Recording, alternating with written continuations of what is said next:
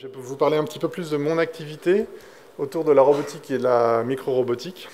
Alors avant de parler de robotique, enfin de, voir euh, dans, le détail, je vais déjà essayer de, mettre un petit peu le, paysage de la robotique mondiale pour, faire un état des lieux de ce qui se passe aujourd'hui.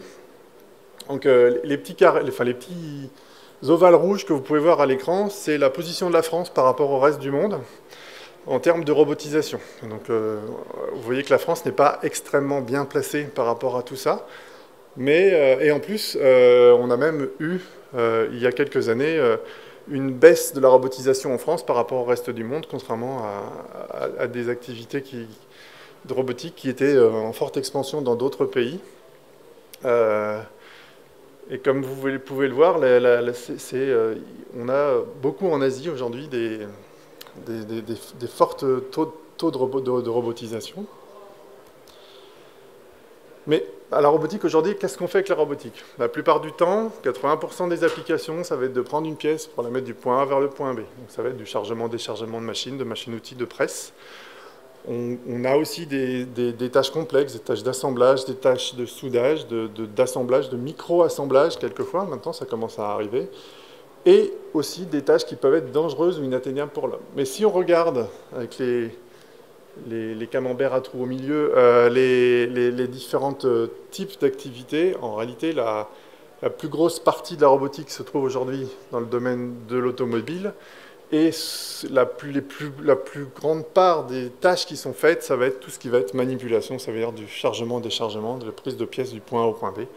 Et après, on a euh, le soudage, mais tout ça, c'est lié énormément avec l'automobile. Par contre, ce qu'il faut se dire, c'est que la robotique ne permet pas de faire quelque chose qu'on ne maîtrise pas. C'est-à-dire que si on a un process qu'on ne maîtrise pas et qu'on veut le robotiser, il y a de fortes chances qu'on ne soit pas capable d'aller plus loin. Aujourd'hui, vous avez commencé à le voir, et si vous vous baladez dans le salon, vous en voyez de plus en plus. Euh, vous avez des robots qui sont capable de travailler à proximité d'un opérateur humain.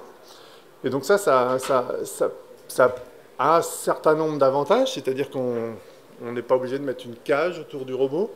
On va pouvoir euh, plus facilement organiser le poste du travail du robot.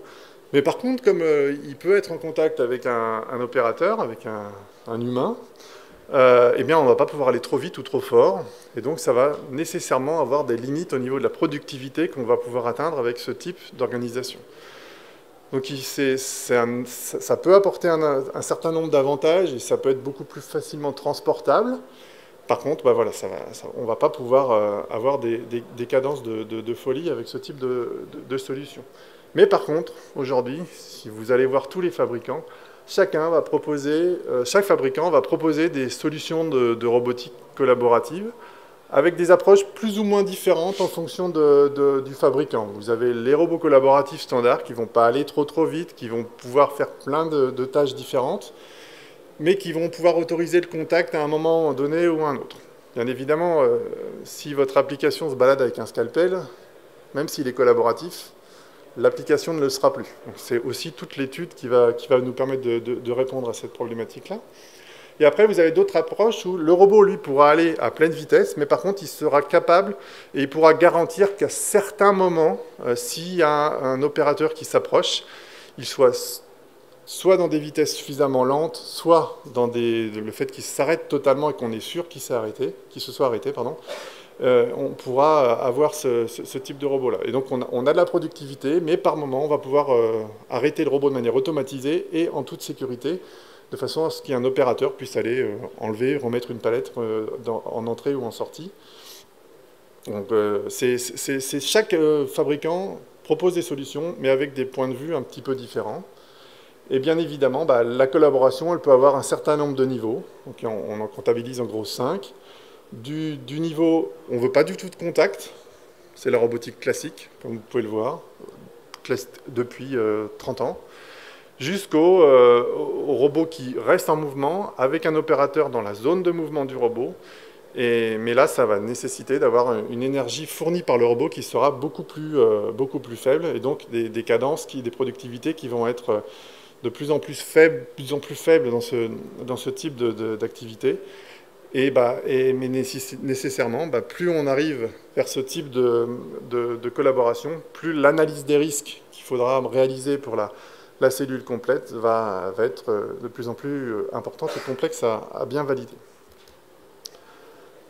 On voit aussi apparaître en dehors de la méthode, de, enfin, de la façon dont on peut intégrer le robot, des méthodes de programmation qui, qui sont de plus en plus euh, faciles d'accès. Alors, euh, vous avez aujourd'hui beaucoup de programmation où c'est plus du code, ça devient de la programmation graphique, ça devient de la, programmation euh, arborescente, c'est beaucoup plus facile à lire. Après, pour des tâches simples, c'est bien suffisant. On commence à voir apparaître aussi des solutions qui permettent de programmer des robots avec un seul et unique système et qui va pouvoir piloter plein de robots différents. Et euh, on a aussi des moyens de programmation euh, externes, donc avec euh, des, CAO. Bien évidemment, là, quand vous êtes de la CAO, vous n'êtes pas dans le monde réel, donc il, peut y avoir des problèmes de justesse des modèles, mais aussi des problèmes de justesse du robot en tant que tel. Donc c'est intéressant parce que vous travaillez en ligne, mais bon, il y a toujours des, inconvénients de l'autre côté. Et vous verrez tout à l'heure dans les, exemples, parce que je, je parle beaucoup, mais après je vais vous mettre beaucoup d'exemples et beaucoup de vidéos, parce que la, la robotique, c'est euh, des choses qui bougent, et donc c'est bien de les voir bouger. Et on a aussi pas mal d'évolutions euh, autour de la péri-robotique, de nouveaux préhenseurs, de nouveaux systèmes de vision de plus en plus euh, perfectionnés.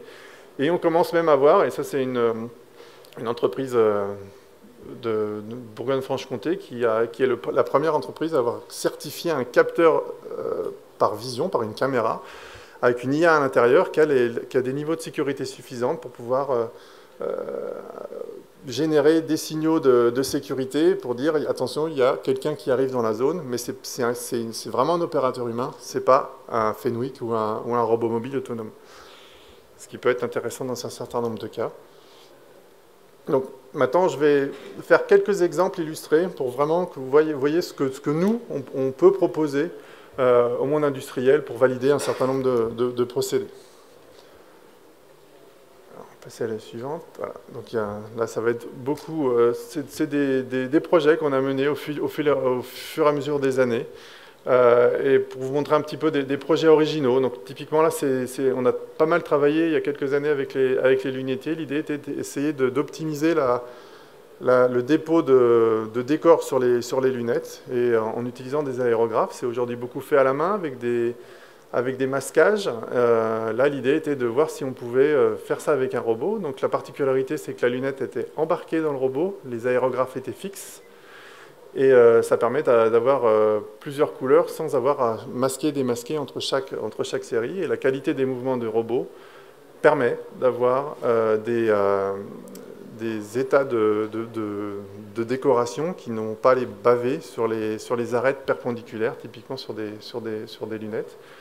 Ça a nécessité, de réaliser des, posages spécifiques pour maintenir ces lunettes-là et euh, des, méthodes de programmation relativement originales, mais ça donnait de très bons résultats.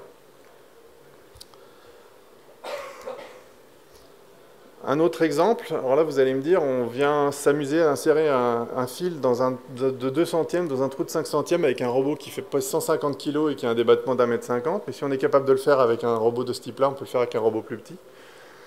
Mais on a surtout fait avec un robot 6 axes qu'on avait, euh, qu'on avait en notre possession. L'idée est de prendre euh, un fil, l'aiguille, donc c'est des kits de suture pour euh, des, une entreprise qui fabrique ces kits de suture. Aujourd'hui c'est fait à la main, c'était fait à la main.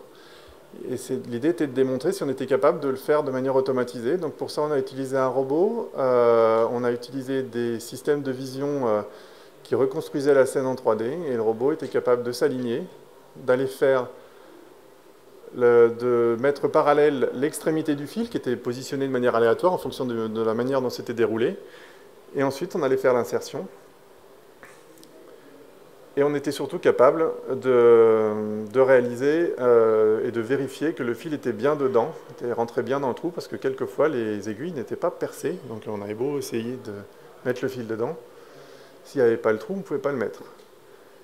Et donc vous voyez qu'avec euh, des instruments supplémentaires, de la vision qu'on vient mettre autour, on est capable de réaliser des tâches extrêmement fines, même avec un gros robot la machine qui a été intégrée derrière, nécessairement, on n'utilisait pas des robots de cette dimension-là, mais, euh, le, principe a été validé et a pu euh, permettre de faire de, nouvelles, de nouvelles structures et de, soulager fortement les, opérateurs qui faisaient ça sous binoculaire à longueur de journée et qui, au bout de 2-3 heures, avaient tendance à vraiment être très fatigués pour réaliser ce type d'intervention.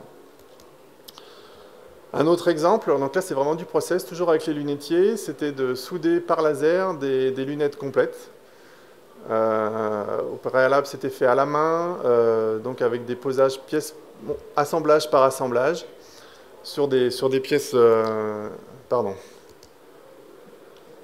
Hop. J'ai la deuxième vidéo qui devrait démarrer en bas. Voilà. Euh, et donc, euh, la difficulté, c'est que les pièces n'ont pas de CAO, ou même si elles en a la CAO, euh, les procédés de fabrication faisaient qu'on avait énormément de variabilité d'une série à l'autre. Donc, l'idée était de, proposer un, posage particulier, surtout un moyen de mesure totalement externalisé sur la pièce réelle, comme vous pouvez le voir sur la, vidéo du, du, haut, où vous avez une spécialiste laser et non pas robotique qui positionnait son faisceau laser sur ses lunettes grâce à un bras de mesure. Donc c'est l'équivalent d'un robot mais sans moteur, c'est juste des capteurs et on est capable de mesurer euh, la position euh, d'un cône de manière très précise. Et euh, elle faisait sa gamme, de fabrication complètement hors ligne et ensuite on l'envoyait sur le robot et le robot allait réaliser le soudage laser complète de la lunette. Et on obtenait des qualités de soudure qui étaient bien meilleures et bien plus répétables. Un autre exemple, euh, on utilise un robot pour aller faire de l'usinage. Donc là, c'était de l'usinage de verres de lunettes. L'idée étant de, réaliser euh, des formes complexes facilement sur des, sur des verres de lunettes. Et là, euh, vu que les efforts ne sont pas énormes pour ça, le, robot était largement capable de le faire. Pour pouvoir réaliser de manière efficace ce type d'usinage, il fallait pouvoir avoir plusieurs outillages, donc des outillages pour faire les, différentes phases de l'usinage jusqu'à la finition. Et donc euh, l'intérêt d'avoir la pièce qui soit portée par le robot permettait de se balader de broche en broche pour pouvoir réaliser ce type d'usinage. Un autre exemple, on est encore sur de la pièce portée, décidément, euh, sur de du polissage de pièces complexes. Donc ça, ça a été fait au niveau du, avec France Éclat, donc euh, ex-CTOR à Besançon. L'idée étant de pouvoir faire un polissage pardon, complet d'une pièce jusqu'au polymiroir en utilisant un robot. Alors vous en voyez de plus en plus aujourd'hui. La particularité, donc ça, ça a été fait il y a une dizaine d'années, hein, la particularité de ce type de, procédé, c'est que là, euh, on, mesurait l'effort euh, de, polissage, mais pas un effort normal à la pièce, mais vraiment un effort tangentiel, donc ce qui est vraiment ce que ressent un opérateur manuel lorsqu'il réalise son polissage. Et donc euh, le, robot appuyait plus ou moins en fonction de l'effort d'arrachement de, la matière sur la pièce. Et on faisait des pièces complexes sur, sur une machine complète. Et euh, ensuite, le CTOR a intégré sur la machine un système de, nettoyage et de contrôle final pour valider ou pas si, la, pièce était euh, correctement polie jusqu'à euh, l'état désiré. La difficulté dans ce métier-là, c'est que aujourd'hui, un polissage, c'est qualitatif et pas quantitatif. Donc il a fallu quantifier le résultat du polissage. Un autre exemple, euh, donc là c'est toujours encore de la pièce portée, mais pour vous montrer que même dans, des, dans de grosses dimensions, on est capable de faire de la, des, trajectoires sur des pièces complexes. Là il a fallu juste rajouter un septième axe, donc là on l'a rajouté de manière euh, euh, manuelle, dans le sens où on inclinait la pièce à la main, mais sur les deux vidéos, vous voyez qu'on est capable de souder sur des, tuyauteries, des, trajectoires complexes, et d'avoir la, la capacité uniquement en calcul des, trajectoires, c'est-à-dire qu'il n'y a pas d'apprentissage, c'est juste euh, on rentre le diamètre, on rentre le nombre de segments et euh, le, robot va directement faire ses trajectoires de soudage sur le, produit. L'avantage de cette structure-là, c'est qu'on peut aussi ensuite aller faire de l'ébavurage, aller, euh, tout en gardant la pièce en main. Maintenant, on va passer un petit peu plus du côté obscur de la force, comme j'aime bien le dire. On va passer en micro-robotique. Euh, donc là, on va vraiment aller sur de la robotique qui va être extrêmement résolue, qui va permettre de faire des, assemblages à des très très petites échelles. Donc euh, typiquement, ça va être des assemblages en sortie de salle blanche, des produits sont réalisés en salle blanche, on va aller rajouter des, éléments dessus. Donc euh, la salle blanche permet de faire souvent de la 2D Avec ce type d'assemblage, on peut aller vraiment jusqu'à des objets complexes en 3D.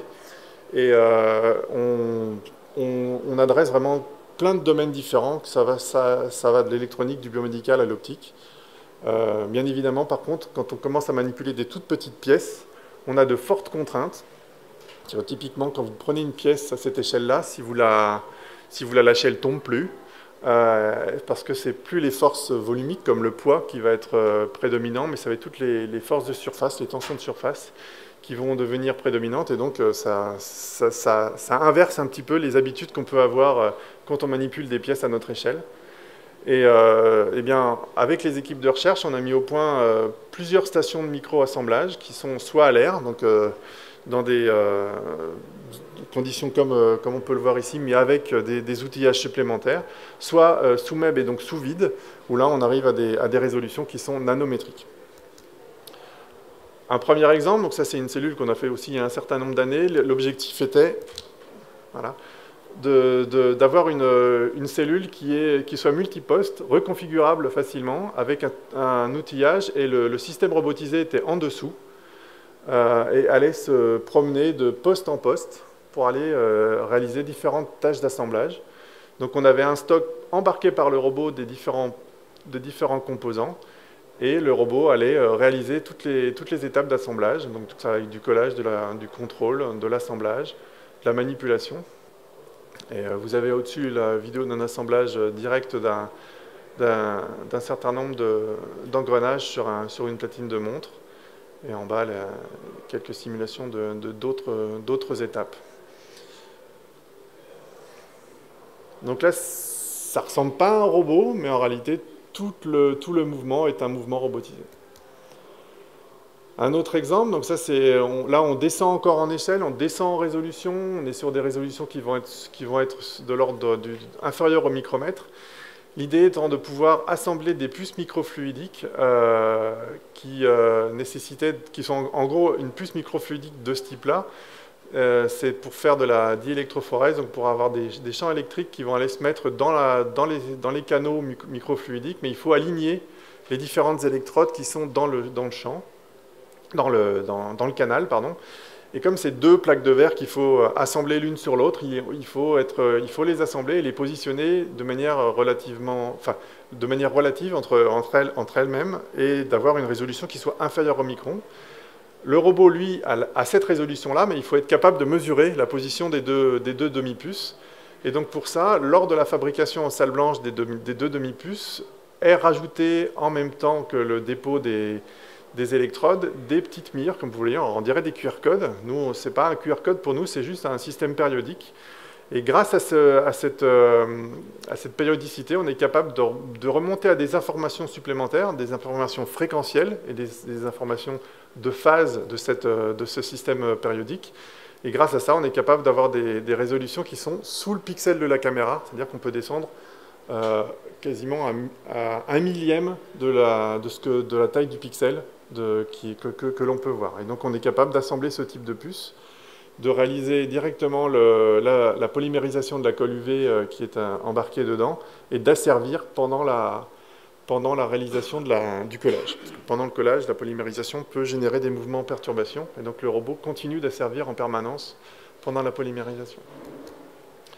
Un autre exemple, donc là on n'est plus à l'air libre, on est dans un microscope électronique à balayage un microscope électronique à balayage, la problématique c'est qu'on est sous vide, on ne voit pas trop ce qu'on fait, euh, mais par contre, euh, on est capable de voir de manière très très précise euh, les objets qu'on est en train d'observer.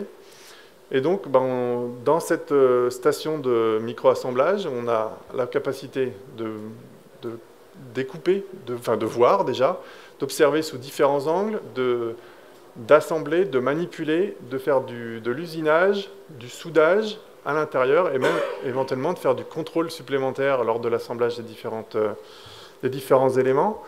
Euh, le, laboratoire Femto a eu d'ailleurs un micro d'or sur cette, euh, thématique-là, mais le, robot qui est à l'intérieur, tout est fait avec des solutions industrielles, donc qui est totalement transférable et totalement mature. Je vais essayer de passer au suivant. Voilà. Alors vous avez deux exemples, on va dire, euh, qui permettent d'illustrer euh, les capacités de la machine. Euh, la, vidéo en gauche, c'est une micro-maison qu'on a fait déjà il y a quelques années. Donc c'est une micro-maison qui fait 10 par 15 par 20 microns, qui est au bout d'une fibre optique qui fait 125 microns de diamètre sur la taille d'un cheveu. Donc en gros, on a coupé un cheveu, on a fabriqué une maison au bout. Et vous voyez toutes les étapes de fabrication. Grâce à la, robotique, on peut positionner les, éléments les uns par rapport aux autres. On va pouvoir faire du découpage, du pliage. Donc c'est typiquement ce qui est fait sur la pince qui a eu le micron d'or cette année. On va pouvoir faire de l'assemblage. Et euh, s'il y a des mécaniciens dans la salle, euh, on fait un assemblage tenon-mortaise. Donc le tenon-mortaise, c'est plutôt de la, charpente, mais euh, avec un jeu de 200 nanomètres. Donc un mécanicien de base, généralement 200 nanomètres, ça commence un petit peu à le gratter mais l'idée étant de, pouvoir utiliser les capacités d'observation du microscope électronique pour pouvoir atteindre ce type de résolution. Et sur la droite, là, on est recordman du monde du film avec la plus petite euh, figurine. Euh, donc c'est un, film en, stop motion. Et donc vous avez une figurine qui fait 300 microns de long, enfin de haut. Et grâce au système robotique, on est capable de repositionner toutes les positions de la figurine image par image, parce qu'en fait on a 600, figurines, 600 positions de la figurine qui ont été imprimées, et on a observé avec le système robotisé à l'intérieur du même, et repositionné image par image toutes les positions de la, figurine pour réaliser ce film. C'est vraiment des objets de communication, scientifiquement et techniquement parlant, ça n'a pas d'intérêt direct, mais par contre ça permet d'illustrer les capacités de ce type de, machine. Et enfin, si vous avez suivi un petit peu l'actualité récemment, euh, au niveau du laboratoire, et là c'est pareil, c'est des solutions qui peuvent être facilement euh, transférées au monde industriel, euh, même si le niveau de maturité est encore un petit peu plus faible. Donc c'est le, robot Migribot qui est capable d'aller extrêmement vite. Donc c'est une structure parallèle qui est déformable. Les articulations ne sont pas des articulations rotules comme vous pouvez le voir habituellement, c'est des articulations déformables vous allez le voir d'ailleurs sur la, vidéo. Et grâce à ça, euh, on a la, capacité d'aller extrêmement vite parce que c'est un robot qui est à la fois propose le mouvement, les degrés de liberté pour bouger les pièces, mais aussi euh, le, gripper, la pince, qui est intégré dans, directement dans la commande globale du robot. C'est en, faisant bouger le robot et en faisant bouger les axes du robot qu'on est capable d'ouvrir et de fermer la pince. Et donc, d'après mes collègues, c'est le robot le plus rapide au monde. Donc vous allez voir un petit peu quelques, quelques exemples de, de mouvements. En réalité, vous n'allez pas le voir bouger parce qu'il va trop vite.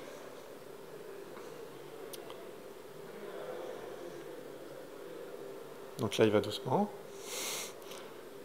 Et après, on va le voir à vitesse réelle.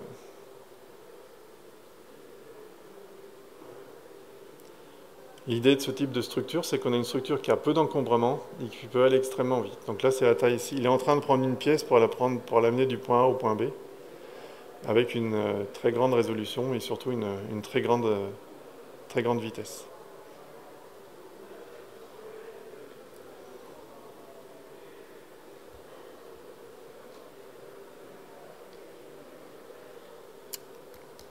Voilà, je vous remercie. Merci.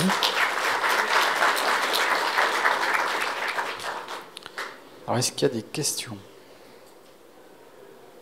Oui, alors je vais passer le micro.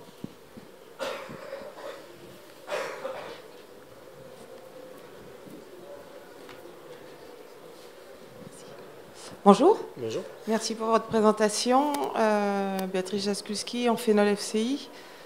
Euh, votre dernier euh, robot Migribot, c'est ça? Oui, c'est ça. Ah, vous avez dit que la maturité était moindre.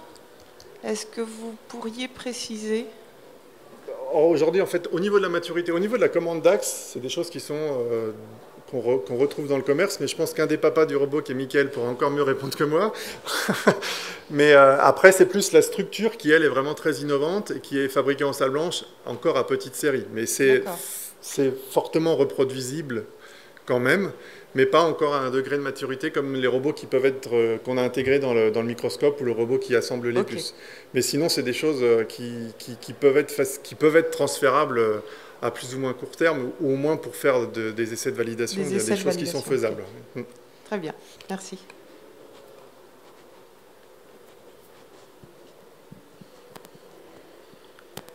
Est-ce qu'il y a d'autres questions? Moi j'ai une question un peu générale sur la, robotisation. Euh, on sait que souvent dans les PME, le point de blocage c'est le premier robot, parce qu'il y a une question aussi de compétences en interne. Et qu'une fois qu'on a acquis les compétences pour robotiser un poste, c'est plus facile de, s'engager sur les suivants. Alors il y a une question aussi de retour sur investissement, évidemment, mais il y a aussi une question de compétences. Et finalement, les freins sont dans les cas que tu as exposés. Est-ce que le frein était sur le retour sur investissement? Et peut-être tu as peut-être donné, peut donné des ordres de grandeur des retours sur investissement. Ou est-ce que le frein est, la formation? Est-ce que sur la formation, il y a, des moyens de, casser ce verrou?